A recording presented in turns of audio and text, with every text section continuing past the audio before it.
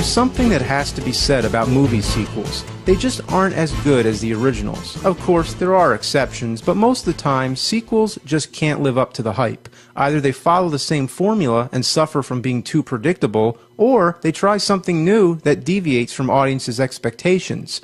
Audiences go to the extreme and give movies a reputation for being worse than they actually are. So I'm picking out sequels that all have their flaws, but I think have been judged unfairly. It's Cinemassacre's top 10 sequels that aren't as bad as everyone says. Number 10, The Lost World, Jurassic Park. The reaction was kind of mixed, but I think anyone would agree it's not as good as the first. It just doesn't have the same feel. I think it feels a bit more like a remake of the classic Lost World from 1925, where explorers encounter dinosaurs in an uncharted land and bring one of them back. It's the basic formula for a monster movie. It seems like Spielberg was trying to recreate that. In this regard, it works, but as a sequel to Jurassic Park, it falls short. The human characters are boring, but the dinosaurs are still fun to watch, and the action scenes are thrilling. When the T Rex got loose in San Diego, I thought that was pretty cool. Overall, it's good entertainment. Number 9 Ghostbusters 2. Whenever this movie comes up in a conversation, everybody's quick to dismiss it. It's definitely not as good as the first, but that was a tough act to follow. There's no way they could have matched the same level of charm and delicate humor a second time around. It just couldn't be done, but they sure tried. The only criticism I have is that it borrows too heavily from the original. It plays it safe and takes no risks. But it's just as epic as ever. A river of slime flowing underneath the city, feeding on everyone's negative emotions, a Carpathian spirit that's going to bring about the end of the world on New Year's Day. Ray, uh, we'd like to shoot the monster. Could you move, please? There's plenty of great gags, like when the Titanic arrives, and the humor is still on key with the original. Ray and Egon spit out enough technical jargon to keep you laughing. You think there's a connection between this Vigo character and the fly?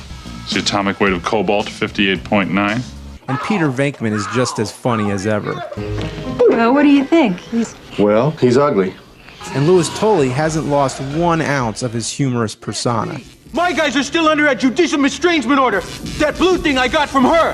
They could be exposing themselves. And you don't want us exposing ourselves. If you like the first one, I say give the second one a chance. Number 8 Terminator 3. Terminator 2 was one of the best movies ever made, so I can't even believe they made a third movie. The second one ended the story, they destroyed Cyberdyne, wiped out all traces of the Terminator, and prevented Judgment Day. James Cameron tied that knot so tight that when the third movie came along, they had no choice but to cheat the mythology a little, just so a third movie would even be possible. But we stopped Judgment Day. You only postponed it. Judgment Day is inevitable. I think the main problem with this movie is that it copied the same format as the other films. It doesn't do anything new.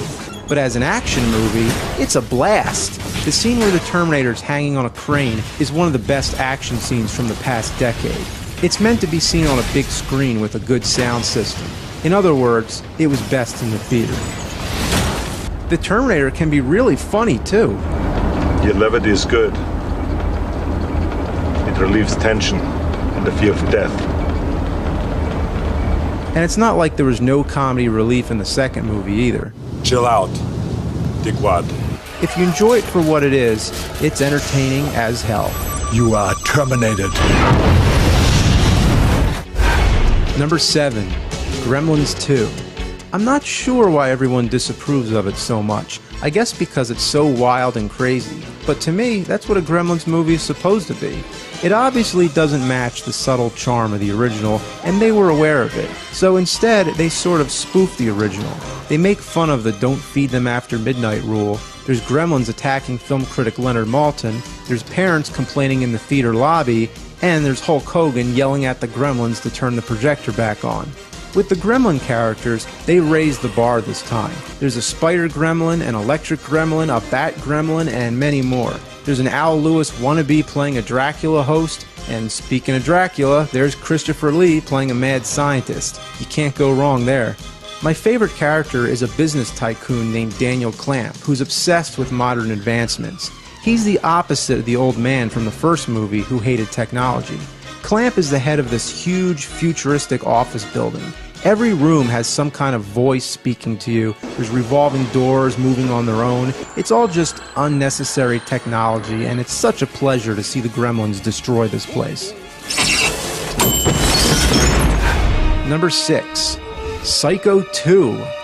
You don't even have to watch it to determine its fate. You're probably thinking the same thing I did. Psycho 2? Are you kidding me? It's in color, it's made 23 years after the original, and 3 years after the death of Alfred Hitchcock. Sounds like they just waited for him to die. Well, the author of the original novel actually wrote another book, too. It was after Hitchcock's death, but before the movie was made. In the novel's sequel, Hollywood is making a movie based on Norman Bates. Apparently, the studio hated the book because it was making fun of all the slasher movies that Psycho had spawned. So the screenplay was written without any input from the author. Psycho 2 is really not that bad a movie. Anthony Perkins returns to his signature role as Norman Bates, and he still does a good job. He's sympathetic this time around, playing an insane character that's trying to fit back into society. The plot contains enough twists to keep it interesting, and the suspense is high. It's definitely better than lots of the other slasher sequels that were going on at the time, but if you compare it with the original, it's doomed. Good sequel, but Psycho 3 and 4, forget about them. Number 5, Back to the Future 3. I admit that when I first saw this movie, I didn't really like it. I guess because the first two are so tightly wrapped together, it made the third seem more distant. Taking place in 1885 with the Wild West theme made it stick out like the black sheep of the series. But it's grown on me, and now I think it's pretty good, so I say give it another chance. Sure, the Clara character was a little annoying, Golly! but the Doc is just as fascinating as ever. It's interesting to see him try to work in such an old fashioned time period. He has to build an enormous machine just to produce one ice cube. Ice tea? The dialogue between Doc and Marty is still just as funny and intriguing as always. It wraps up the trilogy nicely and presents a satisfying closure to the story. Every time I watch it, I notice something new. Like that. What's the kid doing? Number 4 Rocky 5. I haven't heard anyone say one good thing about this movie. Even Sylvester Stallone despises it and gave it a rating of zero, which is hilarious. Rocky Five. Uh, zero. No, was it that bad, Rocky Yeah, it was Five? bad. It's definitely the worst of the series, but come on, it's not that bad. They at least gave it a good shot and tried real hard to recapture the spirit of the original. John Avildsen returns as the director. They bring Rocky back to his humble roots. He's wearing his old clothes. Adrian's working at the pet shop again, and Mickey returns for a flashback. Still, it didn't cut it, I know, but they tried. Oh, look, you need some help? No, guys, ain't no pie eating contest. I think the biggest flaw is the meat headed attitude it portrays, where fighting is the answer to everything. Rocky's son gets picked on by a bully, and the solution is to hit some bags, come back, and punch the kid out. And the street fight at the end, Rocky versus Tommy Gunn, even though I love this scene, there's no reason for it. It doesn't solve anything. Rocky's still broke, and Tommy's still the champ. But you gotta admit, it is exciting to see Rocky get into a real fight outside the ring for once. Bottom line, crappy movie, but great ending. Judgment, I'll suit.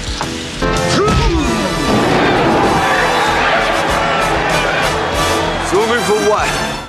Number 3 Spider Man 3. When I saw this movie in the theater, I really had no idea it was going to be one of those kind of movies that everybody hates.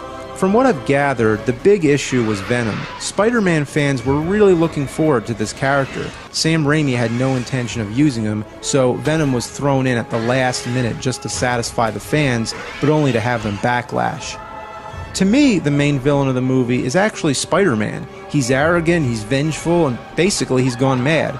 So when he tears off the black suit, it's like he takes out his inner demon into an external form that he can actually face.